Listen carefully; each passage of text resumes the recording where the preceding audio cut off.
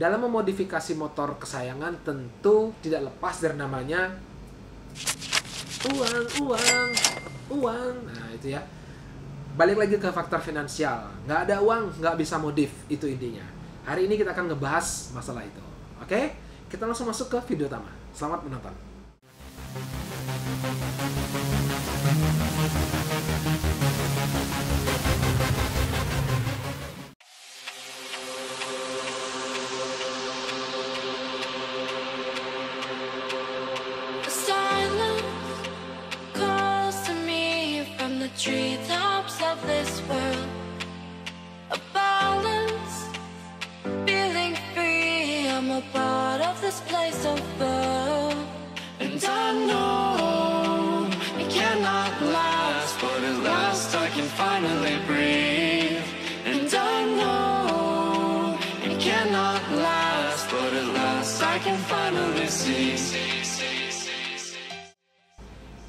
Selamat datang di channel Dekal 4000 kembali bersama Surya di sini.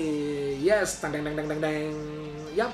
Jadi hari ini kita akan ngebahas mengenai ini banyak banget polemik yang ada ya, yang ada eh, yang sering banget lewat di eh, vlog saya bergentayangan ya komentar begini misalnya.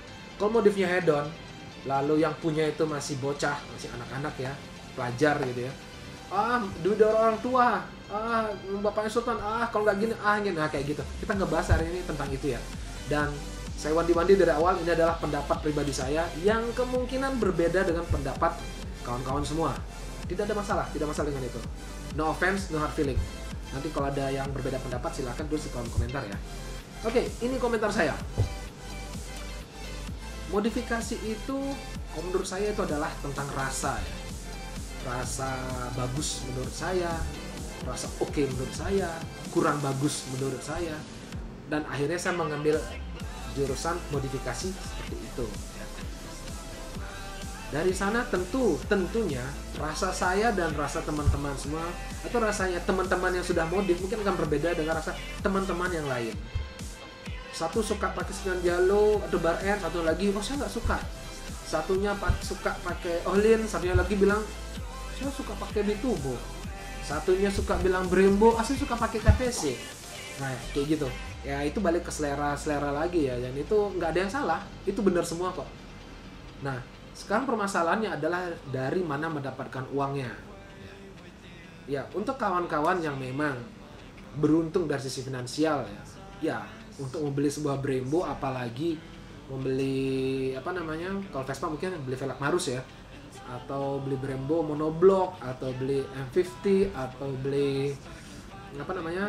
knalpot sekelas apa yang ini ya mungkin eh, sekelas SC Project mungkin atau sekelas Akrapovic atau ya you name lah yang yang barang-barang branded segala macam. Atau full karbon mungkin semuanya. Full karbon Kevlar ya bukan karbon fiber. Ya monggo silakan. Tidak ada masalah silakan. Saya sebagai penikmat modifikasi tentu saya akan senang ngeliat wah ternyata motor ini bisa diginiin ya. Wah ternyata motor ini nih saya bikinkan videonya saya upload. Ini loh kawan-kawan ternyata ada yang modif seperti ini. Mungkin kalau kawan perlu perlu apa namanya perlu inspirasi ini bisa ditiru gitu loh. Nah terus uangnya itu kalau didapat dari minta orang tua ya saya rasa juga nggak ada masalah toh orang tua orang dia orang tuanya dia juga ya kan? terus orang tua juga kerja juga buat anaknya juga. Ya, terus kalau bukan buat anaknya mau ke siapa masa dikasih selingkuhannya? Ya nggak juga kan? Ya udah mending kasih anak aja. Karena rata-rata anak-anak sekarang juga seperti ini.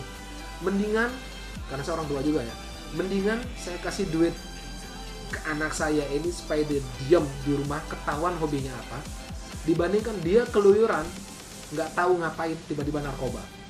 Pilih mana?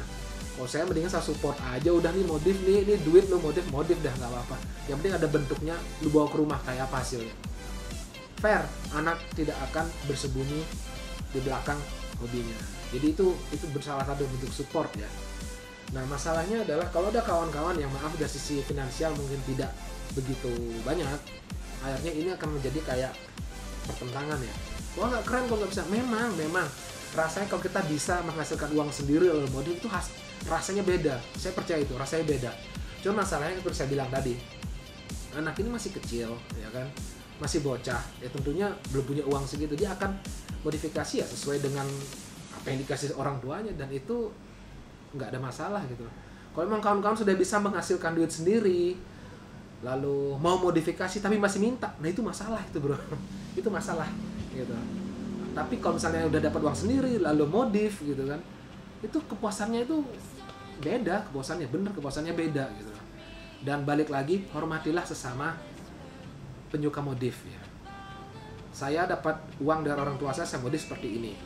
Ya saya tidak akan mencibir anda. Kalau misalkan anda kerja keras dapat uang lalu modif motor anda saya dan mungkin atau mungkin bagi saya motor anda modifnya kurang bagus. Ya ya silakan itu hak anda ini juga hak saya jangan bully saya. Saya nggak akan bully anda. Nah, kayak gitu ya.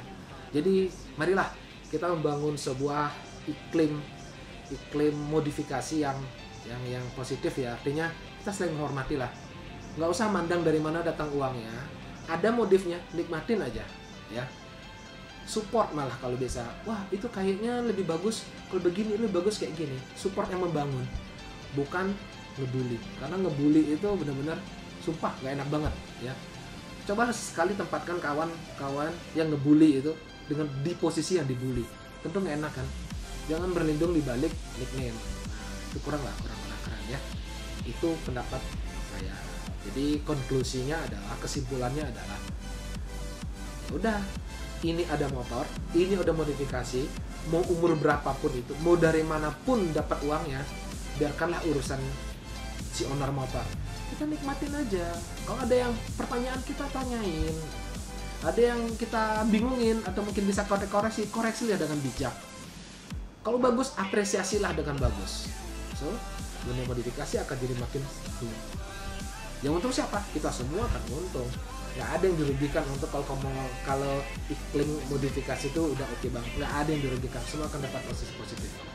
Ya demikian dulu dari saya Deka 8000 jangan lupa di like, share, komen, dan di subscribe channel saya Deka 8000 kita ketemu lagi di video-video mendatang lainnya. Seperti biasa hashtag di rumah aja stay at home. Nah, jadi videonya kayak gini semua. Ya udah oke? Okay? terima kasih. Have a nice day. Bye bye floating away with you in the backseat of my car. We're timeless, sailing through, but tonight, no, we can't go far. And I know it cannot last, but at last I can finally breathe.